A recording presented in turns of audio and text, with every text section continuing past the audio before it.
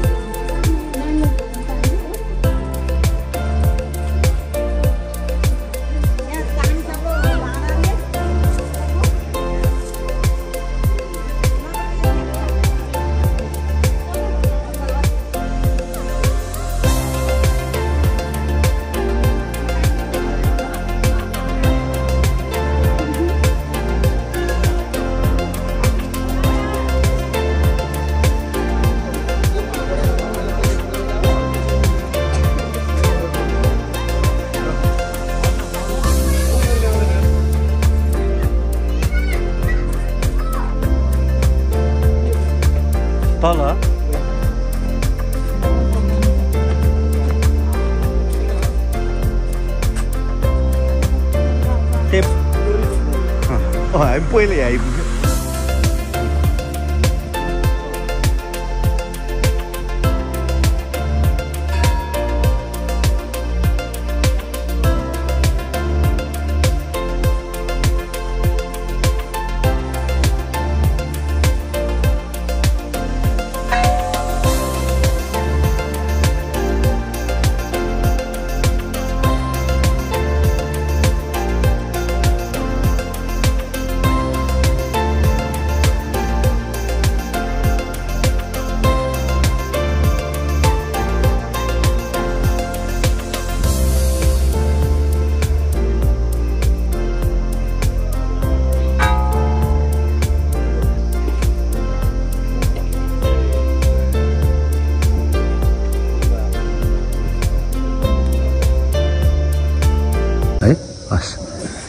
जय गोरख। अब यो गोर्खा थिएन बाबु। यसको नाम सुनगिरी पहाड थियो। जब बाबुना प्रकट हुनुभयो गोर्खा भयो। त्यतिखेर यहाँ को राजा थियो भुषाल खड्का राजा थियो। अब यसको नियम नीति कानुन बाबालाई मन परेन। नपरेपछि अब राम्रो क्षेत्रीय राजा खोज्नु पर्यो। भने बाबुना राजा खोजीमा लाग्नुभयो। राजा खोजी यहाँ कहाँ जाम त? भन्दा पहिला पश्चिम दिशा पूर्व दिशा। तिन सर नेपाल। नेपाल पछि भएको तिन सर नेपाल जानुभयो। तिन सर नेपाल जाँदा सारा जनता घरमा गएर गोरख जगाइदिनु भयो भोलिपल्ट बिहान सारा जनता घरमा जानुभयो। तर कसैले वास्तै गरेनन् चिन्दै चिनेनन्। नचिनेपछि वास्ता नचिने यिनीमा यी जनतामा चेतनशील रहेनछ यिनीलाई त चेताउनु पर्यो। भने मृगस्थलीमा गएर बाह्र वर्षको तपस्या लिइदिनु भयो सारा नागलाई आसन लगाएर नागमाथि आफू बसिदिनु भयो नाग नभएपछि त पानी पनि कुरै आएन। देशमा अनवृष्टि हुने भयो आज आज भोलि भोलि एक वर्ष दुई वर्ष भन्दा हुँदै पशु पन्छी कुरामा मान्छे पनि आफै भुतभुत हुन थाले। जनता नभएपछि कसको राजा हो नि अब घरमा अन्केल लायो भने बाउलाई चिन्ता हुन्छ। देशमा रोग लाग्यो भने राजालाई चिन्ता हुन्छ। अतिखेर मल्ल राजा हुनुहुन्थ्यो। मलाई चिन्ता लाग्यो। भन्दा तिन सहर भ्यालीभित्रका सारा ज्योतिषलाई बोलाएर पटङ्गीमा राखेर लु देशमा कहाँ के हुनु गयो ल हेर। भनेर ज्योतिषलाई जिम्मा दिनुभयो। ज्योतिषले पनि त्यसलाई लिखित भाव त्यसलाई गणना गरेर बताउने। लिखित नभएको कुरो उहाँहरूले पनि बताउन सक्नु भएन। नसकेसम्म मिश्रा भन्ने बाजेलाई चिन्ता लाग्यो। देशमा रोग त लाग्यो त नि कहाँबाट लाग्यो त हामीले बताउन सक्नु पऱ्यो नि। भने उहाँ ध्यान दृष्टिमा बस्नुभयो। ध्यान दृष्टिबाट हेर्दाखेरि गोरखनाथ बाबाले रिसिटेरी यति गर्नु भएको भने उहाँले पत्ता लगाउनु भयो। अनि राजाले भनिदिनु भयो यो कारण यो यसको उपाय के छ त? भन्दा यसको उपाय एउटै छ। दक्षिण भारत कमाचियामा उहाँका गुरु मत्रिनाथजी हुनुहुन्छ। उहाँलाई यहाँ ल्याउने उपाय भयो भने यो समस्याको हल भयो नत्र हल हुनेवाला छैन। भने को गएर मत्रिनाथजी आउँछन् जो पाइ गएर मत्रिनाथ आउँदैनन् फेरि राजाले भाइबाट राजपाट सुम्पिएर आफै जाने प्रक्रिया मिलाउनु भयो। र जानुभयो उहाँ वार्ता गर्नुभयो वार्ता मिल्यो आउने प्रक्रिया भयो। त मत्रिनाथजी बच्चाको रूपमा आउनुभयो भोटो लगाएर र तिन सर भ्यालीभित्र आएर यसो हेर्दाखेरि फाँटमा एउटा ज्यापु हल जोतिरहेको रहेछ। अनि ऊ भाषा गएर आफ्नो भोटो फुकालेर ऊ भोटो तैँले सम्हाल है? भने फेरि आफू सचित रूपमा मृगस्थली पहुँचिनु भयो। नजिक जाउँ त चेलो दर्शन गर्छ कुरो सकियो। ऊ टाढा उभिदिनु भयो। गुरु आए गुरुको दर्शन गर्नु पऱ्यो नि। उठेर गएर गुरुको दर्शन गर्नुभयो त्यतिखेर नागहरू आफ्नो आफ्नो स्थानमा गएर पानी पऱ्यो बारिस भयो। अनि गुरुको दर्शन गरेपछि मल्ल राज्य फर्के तैँले मेरो यति गराइस् अब तेरो राज्यमा हरेर सार्छु अब तेरो राज्यमा छिलेर सार्छु भनेर त्यति भएपछि उहाँबाट फर्केर आएर गुहा प्रवेश गरेर अनि उहाँ पश्चिम दिशा जानुभयो। पश्चिम दिशा जाँदा लमजुङमा यसुबाङ शाहका तिन भाइ छोरा नरहरी शाह नरपति शाह दरवे शाह। जेठा माइला पढा लेखा भएका राजपाट गर्न सक्ने। कान्छा दरवे शाह जिउका चाहिँ बलिए हट्टा कट्टा। तर लेखा नभएका राजपाट गर्न नसक्ने उहाँलाई राईनाटारमा गाईको गोठ बनाएर गाई पालेर ल तिमी राजपाट गर्न सक्दिनौ। तिमी गाईको सेवा र दुध र भात खाऊ भनेर राईनाटारमा छोडिदिनु भएको थियो। उहाँ गाईको सेवा गर्दै जानुभएको थियो। यता बाबुनाथ दिउँसो बाह्र बजे समय पुग्नु हो अब बाह्र बजी चाहिँ खाना साना खाएर भण्डार त खाली हुन्छ। अनि पटङ्गिया गएर गोरख जगाइदिनु भयो। हुन त अब बाह्र बजे समय कौसीमा आराम गरिरहेको थिएँ। हेरेको साधु। साधु आए त दान पुण्य गर्नु पऱ्यो र पनि भण्डारमा गएर थालमा चामल भेटी पैसा जे जे छ राखेर दिन आउँदाखेरि बाबाले भन्नु बच्चा मेरो भिक्षा मध्ये मेरोको गोरसले भन्नुभयो। गोरस त सकिया छ महाराज।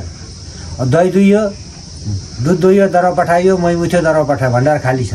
ए चल जा देख भन्नुभयो। बाबु मान्छे त मान्नै पऱ्यो गएर भण्डार गएर हेर्छन् त त्यो खाली कराई दुधै दुधले टिल्पि टिल्ली भएर रहेछ अब बाबा त पटङ्गी आँगनमा हुनुहुन्छ।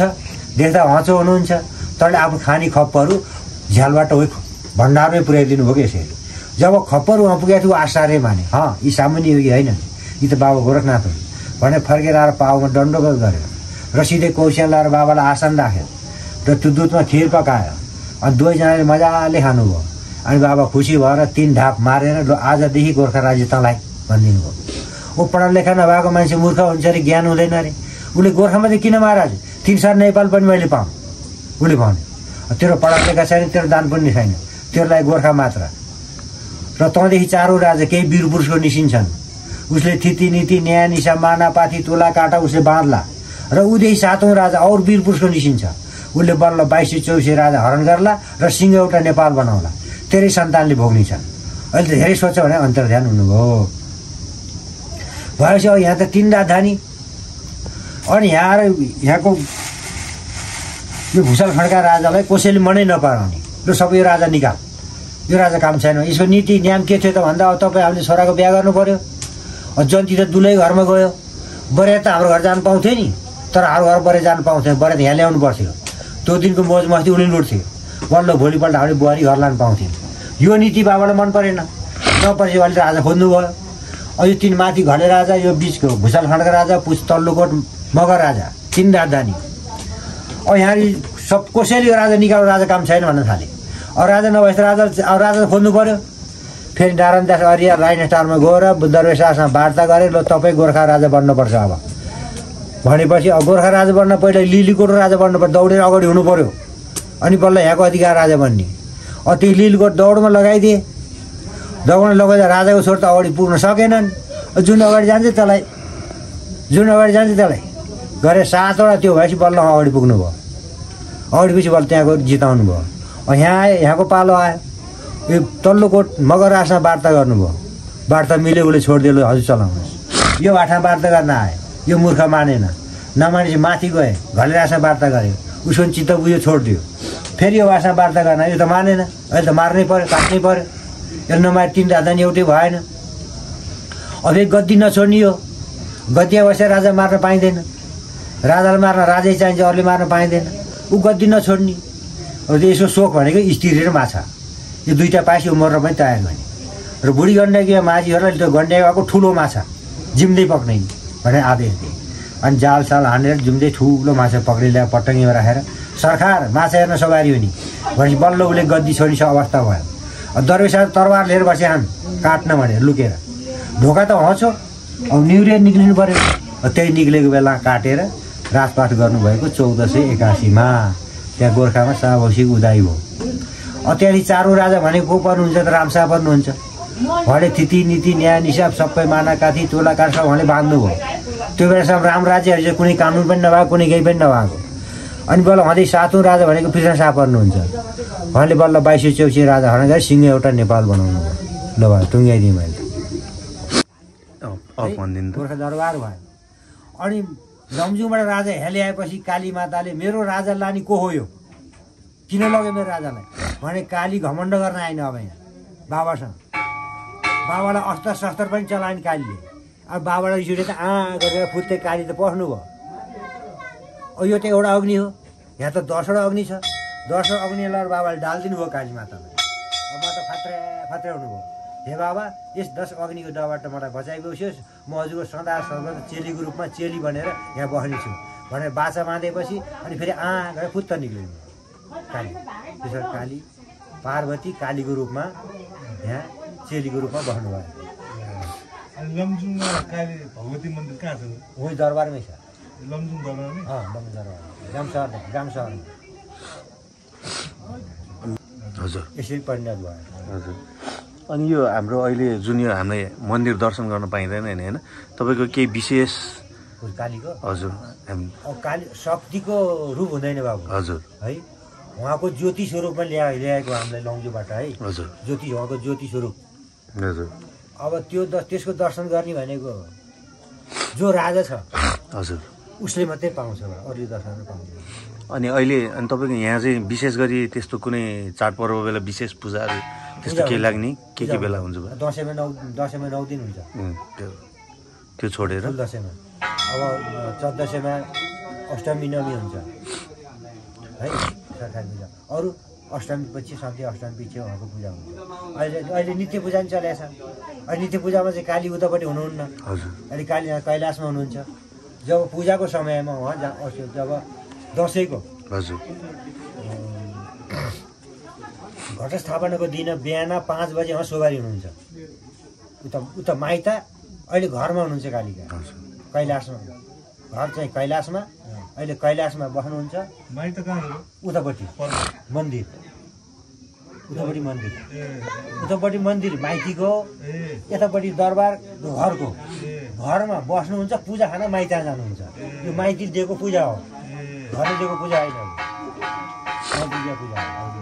पूजा खानलाई दसैँको नवरात्रिमा जानुहुन्छ। हजुर। चौध दसैँको अष्टमी दिन जानुहुन्छ हजुर। लमजुङको दरबारमा? नै नै यहीँ। यो यतापट्टिको ठुलो दरबार दरबार भयो उतापट्टिको मन्दिर हो। हजुर उता दसैँ गर्नु भयो नि दुइटा ढोकामा। हो त्यो चाहिँ माइता हो।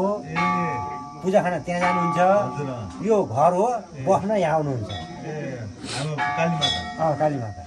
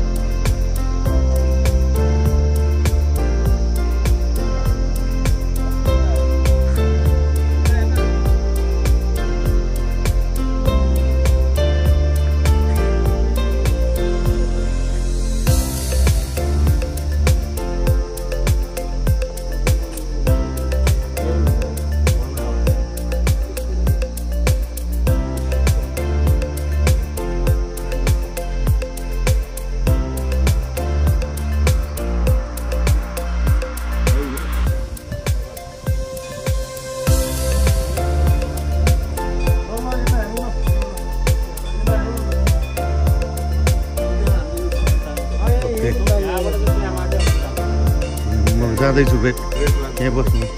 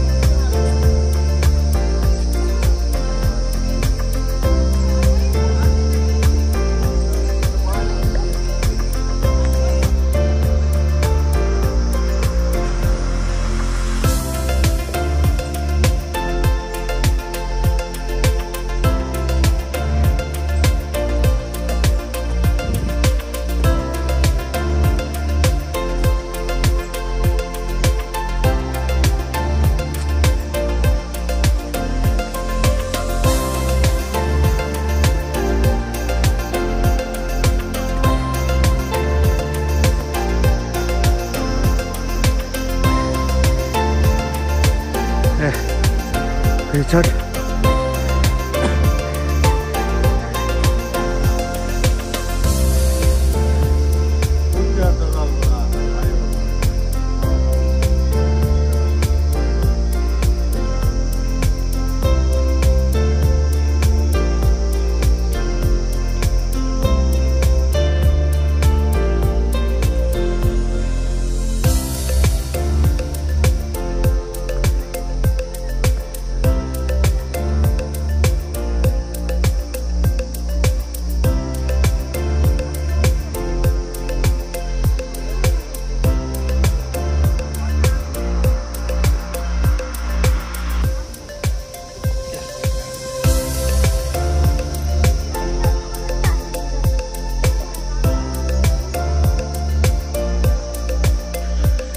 हर हर महादेव जय शम्भो